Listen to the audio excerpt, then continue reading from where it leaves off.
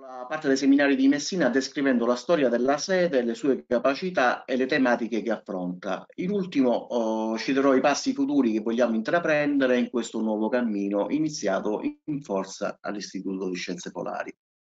Partirò da lontano ma arriverò velocemente ad oggi. L'istituto sorge nella zona falcata di Messina, ossia nel porto, accanto al faro cinquecentesco del Montorsoli che vedete raffigurato nella stampa seicentesca e di fronte alla destra dell'istituto è sempre presente il vortice ricorrente di Cariddi. Quindi come vedete siamo nel cuore della storia descritta fin dai tempi di Omero.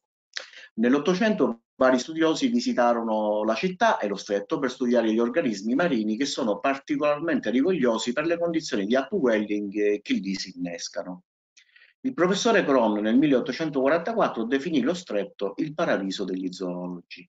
Più tardi Anton Dorn nel 1868, dopo l'abilitazione, si trasferì a Messina con un collega russo e concepirono un piano per coprire il globo con una rete di stazioni di ricerca dove gli scienziati avrebbero potuto fermarsi, collezionare materiali, fare osservazioni e condurre esperimenti prima di spostarsi verso la successiva uh, stazione. Beh, poi, due anni più tardi, ehm, ritenne più idonea la città di Napoli per fare la prima stazione in questo piano. Eh, da quella prima stazione fatta quindi in Italia a Napoli, altre stazioni sono state eh, create in tutto il mondo. Dal conto suo l'Italia solo nel 1910 ritenne di fare un piano di stazioni a livello italiani, con la costituzione del Regio Comitato Talassografico Italiano, in cui l'Istituto eh, Idrografico di Genova della Marina aveva un ruolo cruciale. Il comitato aveva funzioni esecutive per lo studio fisico-chimico e biologico dei mari italiani, prevalentemente in rapporto all'industria della navigazione e della pesca e per l'esplorazione dell'aria e dell'alta atmosfera nei riguardi della navigazione aerea. Riguardo, eh, ricordo che eravamo vicini agli anni in cui i fratelli Wright eh, fecero il primo volo. Nel 1913 il Regio Comitato quindi decise che la Marina stanziasse una cifra di 20.000 lire per 5 anni per finanziare la costruzione dell'Istituto Centrale di Biologia Marina a Messina. In alto vedete una foto dell'inaugurazione nel 1916. L'aneddoto da raccontare è che la nascita della sede di Messina è concominante alla confisca dei beni a Anton Dorn in quanto tedesco Infatti l'Italia nella prima guerra mondiale era nella fazione opposta alla Germania e solo nel 1920 i beni della famiglia furono tornati al figlio del Dorno e lui stesso nominato direttore della stazione zoologica di Napoli che nel frattempo aveva ripreso le attività dopo il conflitto. L'istituto nasce nella zona falcata di Messina accanto ai quattro edifici della Marina ancora esistenti e di fronte al faro della città. In quel tratto di spiaggia che vedete nella cartolina spiaggiano dei pesci abissali in condizioni di vento gregale e luna, e luna piena, portati in superficie dall'acqua welling. Il primo direttore dell'istituto fu Luigi Sanso, la foto in alto a destra. Di lui scrisse il suo allievo Antonio Spartà, non v'è gruppo fra i più importanti della fauna marina in cui non si debba ricordare in studi futuri l'opera del Sanso. Uh, sicuramente un illustre scienziato e Sanso non solo era quindi un, un, valente scienziato ma seguì direttamente tutti i lavori di progettazione e costruzione dell'istituto. Nella slide è riportato un particolare di uno dei due pecten posti all'ingresso della sede, una foto della biblioteca e uno dei quadri che adornano le stanze della sede fatto da Filiberto Mazza, illustre disegnatore che lavorò nella sede negli stessi anni del direttore Sanso. Dalla sua costituzione fino all'inizio degli anni 90 il primo piano era destinato all'abitazione del direttore, mentre il piano rialzato, che voi vedete nello schema, era destinato a studi e laboratori che nei primi anni avevano un gran numero di acquari per lo studio degli stadi embrionali dei pesci. La parte colorata in blu sono gli attuali studi dell'ISP e la parte colorata in rosso sono invece i laboratori in dotazione. ISP ha pure un equivalente di spazio come depositi sotto il piano dei laboratori, la parte colorata in rosso. Oltre a questi spazi, ISP condivide con IRBIM l'edificio del tiro a segno nazionale che si vede nella foto a destra e viene utilizzato come auditorium. Inoltre abbiamo in comune un parco di 10.000 metri quadri. Tutto meraviglioso, ma sicuramente caro da gestire. Durante il periodo della direzione Sparta, l'istituto cambia denominazione, prende il nome di Istituto Sperimentale della e passa in forza al Ministero dell'Agricoltura e Foreste. Le ricerche sono incentrate sulle specie ittiche di interesse per la pesca. In questo periodo viene edificato un acquario nella villa comunale di Messina gestito dall'Istituto Astrografico. Durante la direzione di Antonino Cavaliere, e arriviamo vicino alla storia degli attuali dipendenti di IST, eh, avviene un rilancio dell'istituto mettendo nuova linfa a cominciare dagli anni 80 e nella foto che vedete ci sono molti colleghi che adesso fanno parte dell'Istituto di Scienze Polari, tra cui Brunella Laferla, Renata Zaccone, che sono state ambedue importanti per la mia crescita nel mondo della ricerca. Poi in foto ci sono dei giovani, Giovanna Maimone e Filippo Azzaro, si vede in basso a sinistra un giovane Silvio Greco che ha dato molto lustro all'istituto anche in termini di attività polari. Non presente in foto il dottore Rissafi, ma anche lui entrò in forza nel trasfografico negli anni Ottanta, venendo dall'Università di Messina. Sulla destra i professori Genovese e Faranda che all'inizio di questa nuova era del trasfografico hanno portato idee, progetti e giovani dall'Università di Messina, facendo sviluppare i campi dell'acquacultura e della pesca e della microbiologia. Infatti il professore Genovese è da ricordare per essere tra i primi ad aver studiato la batteriologia marina in Italia ed è proprio grazie ai suoi studi, a cominciare dagli anni 50, dopo un soggiorno in Francia, che i suoi allievi di Messina sono diventati a livello nazionale ed internazionale un riferimento per questa tematica di ricerca. Ricordo anche il professore Paranda, eh, che non ha bisogno di una mia presentazione perché ha guidato per parecchi decenni la biologia marina italiana, sia nei mari italiani che polari, ed ancora oggi l'asse scientifico italiano universitario nel campo della biologia marina mantiene quell'assetto da lui fondato. Da metà degli anni Ottanta e con il ruolo di direttore dal 92, il dottore Grisati è stato sicuramente il deus ex machina dell'Istituto dell'Astrografica in tutte le scelte strategiche, eccetto per il periodo dell'Istituto per l'Ambiente Marino Costiero, dopo il pensionamento del direttore eh, Bruno D'Argerio.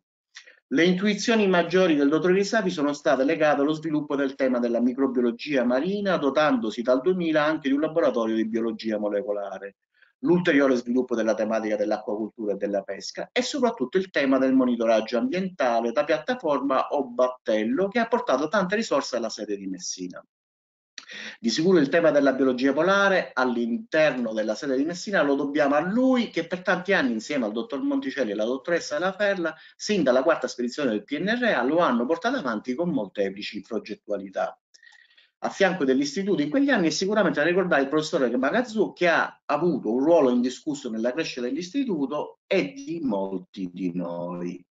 Il focus degli studi della sede di Messina dell'ISPE è incentrato allo studio della microbiologia, dai virus ai batteri, della relativa catena trofica, fino al fitoplancton, considerando sia lo studio della biodiversità, quello dell'abbondanza e quello delle attività, da quelle produttive a quelle di remineralizzazione.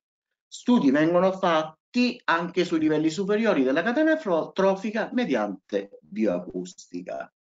Le attività di ricerca le svolgiamo sia al polo sud che al polo nord, a mare, negli ambienti lacustri e nell'ambiente terrestre, sia eh, nello strato attivo che nel permafrost.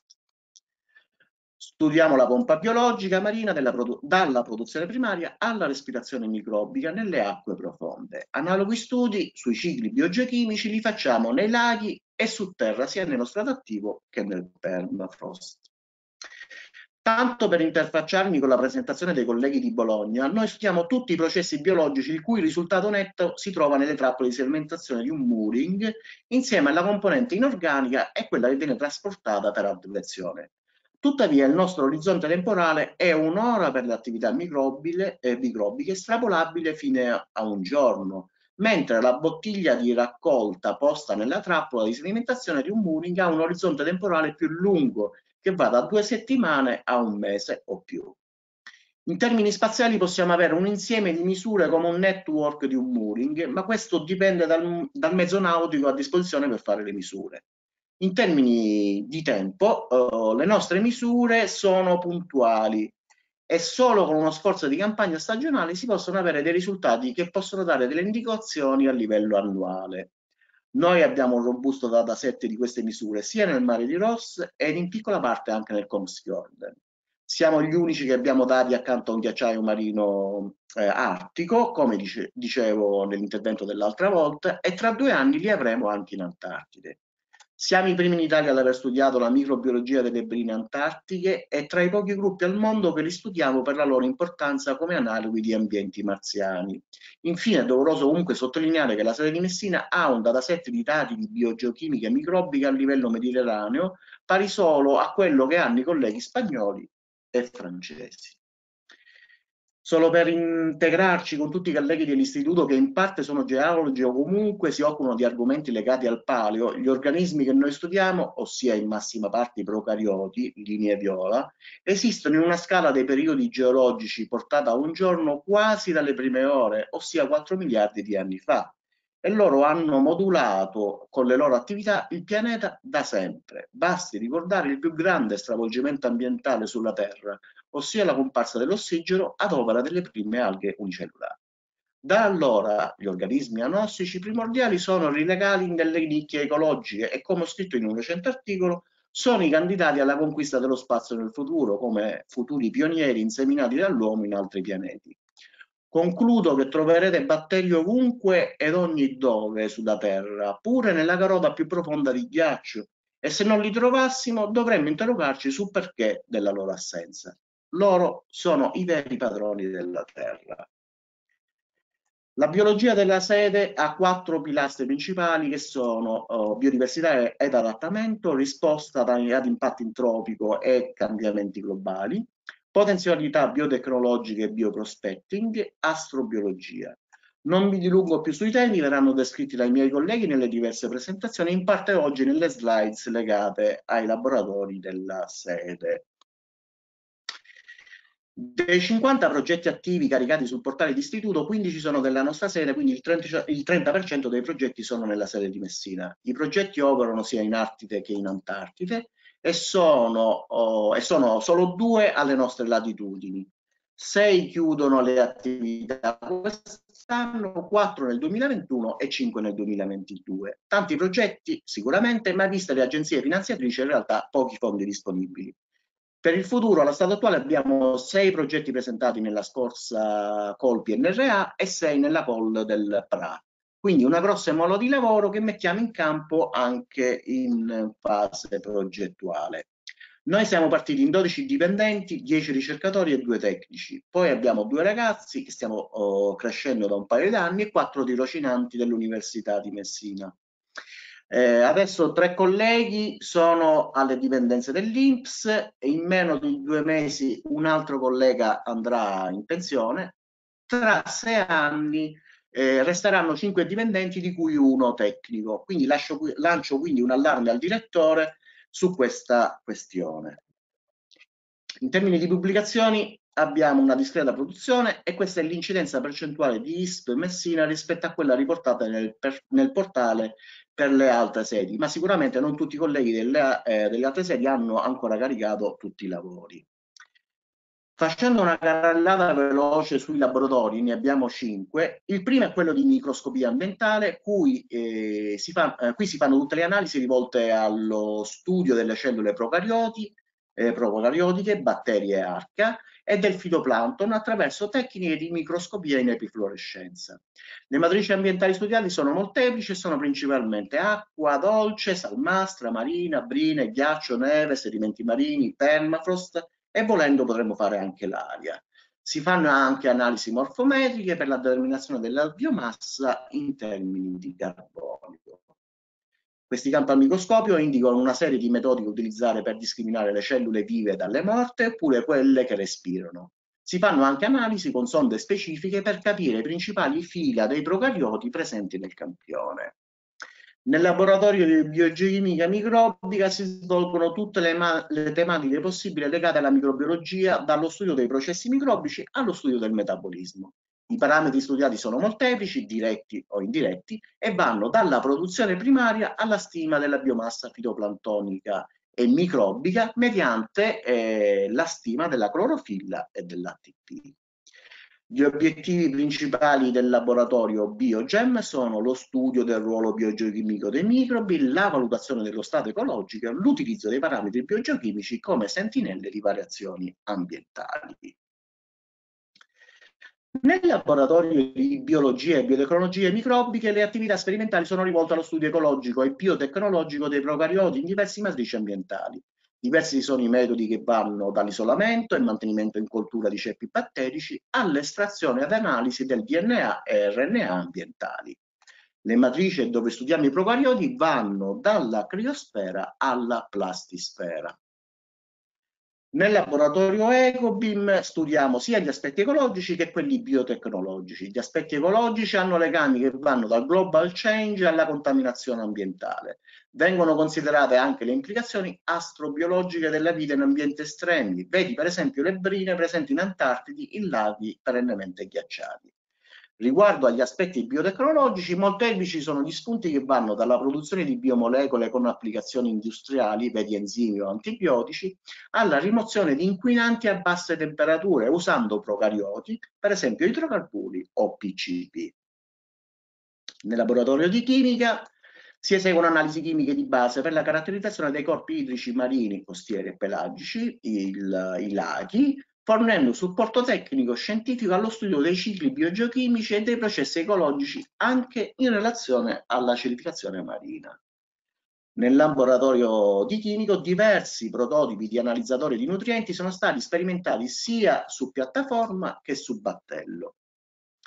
Infine, ma non per ultimo, vi è il laboratorio di biodiversità acustica ed ecologia marina. Si occupa dell'analisi delle sorgenti acustiche sottomarine biologiche, lo studio delle dinamiche ecologiche degli ambienti marini vertebrati ed invertebrati e la valutazione degli impatti del rumore di origine antropica sugli organismi marini. In particolare, eh, il laboratorio si occupa delle analisi dei dati acustici e valutazione delle dinamiche ecologiche, della stima e modellizzazione del rumore sottomarino e delle componenti acustiche ambientali, dell'analisi delle variazioni biochimiche fisiologiche e, dei, e comportamentali degli animali esposti a disturbo acustico. La stima del paesaggio acustico, vedi per esempio lo scioglimento dei ghiacciai e della presenza e del comportamento di target biologici, viene fatto sia mediante acquisizione con target puntuali da imbarcazione che mediante strumentazione allocata su un mooring. I passi futuri della sede sono racchiusi nei seguenti dieci punti, tutti con la medesima importanza e dipendenza uno dall'altro. Nell'ambito del mio mandato oh, di RUOS spero di realizzarne gran parte insieme ai miei colleghi e al direttore. Il primo è la dotazione di un amministrativo per la sede di Messina, poi maggiore integrazione con i gruppi di ricerca dell'ISPI nelle varie sedi, e questo già l'abbiamo incominciato, abbiamo una serie di progettualità che abbiamo messo in campo sia con la sede di Roma che di Bologna che di Venezia. Rafforzamento delle collaborazioni a livello italiano, maggiore internazionalizzazione sia in Artide che in Antartide, rinnovamento della strumentazione scientifica anche con dotazione di nuova strumentazione strategica, avvio di serie temporali con diversi approcci strumentali sia a mare che a terra, costruzione di un laboratorio atto a lavorare a temperature controllate per lo studio su microcosmi di specie marine e lacustri polari, oltre che a ricerche sul microbioma nei suoli e nel permafrost, costituzione di un museo di ceppi batteri artici, a proposito la dottoressa Lo Giudice già gestisce quello dei ceppi antartici, eh, rafforzamento degli studi polari con potenzialità legate all'astrobiologia, formazione delle future generazioni di ricercatori polari e relativo loro ingresso nelle file della sede di LISP di Messina. Ringrazio tutti i colleghi di Messina che hanno accettato la sfida dell'Istituto di Scienze Polari ed in primis il dottore Crisafi perché senza di lui questa sede non si sarebbe potuta creare. Un doveroso ringraziamento va al passato direttore di ISP ed all'attuale che hanno creduto in me una parola di incoraggiamento va verso i nostri due precari che lavorano con noi da diversi anni, Maria Papale, vincitrice di un progetto in Antartide, e Ciro Rappazzo, purtroppo per ora senza contratto. Un ringraziamento va anche a Luis Monticelli, che è stato un nostro caro collega e primo microbiologo polare dell'Istituto Talassografico, ed infine Silvio Greco, che anche lui nel tema delle risorse viventi ha rappresentato il, nostro, il nome del nostro storico istituto per tanti anni nell'ambiente polare. Grazie a tutti per l'attenzione.